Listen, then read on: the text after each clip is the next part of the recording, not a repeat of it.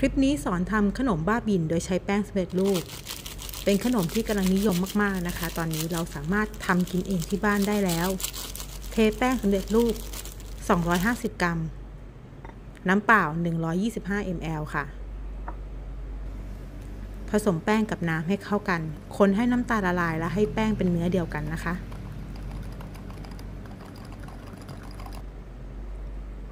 เมื่อได้แป้งแล้ว ใช้เนื้อมะพร้าวอ่อน 100 กรัม แป้ง 100 กรัมค่ะ ตั้งกระทะ ทาน้ำมันที่กระทะให้ทั่วนะคะ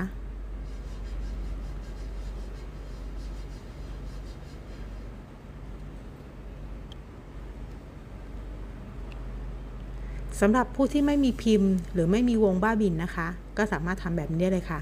ตักเนื้อมะพร้าวลงกระทะก่อนค่ะ อย่าเพิ่งใส่แป้งหมดนะคะ ค่อยๆ ตะล่อมขอบขอบแป้งให้เข้ากันมาในเนื้อมะพร้าวแบบนี้ค่ะ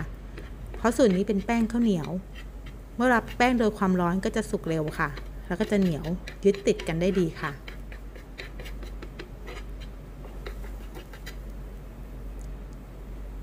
และเทน้ำแป้งที่เหลือลงไปค่ะ แล้วก็ตะล่อมด้านข้างเข้ากันเหมือนเดิมนะคะ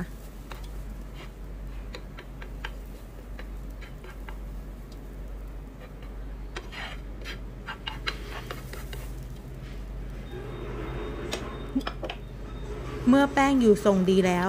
กลับด้านค่ะ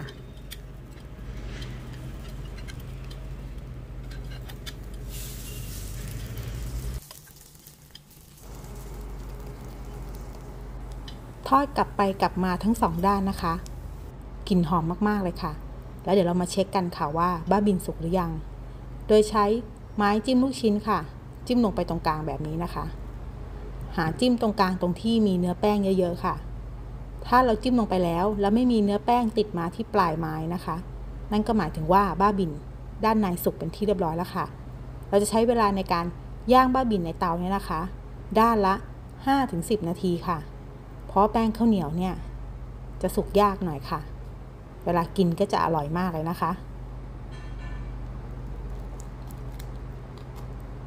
แป้งจะกรอบนอกแล้วก็นุ่มด้านในมากๆเลยค่ะ ถ้าสุกแล้วนะคะ ดูจากแป้งข้างในนี่ สีจะใสแบบนี้เลยนะคะ เวลากินจะอร่อยมากค่ะ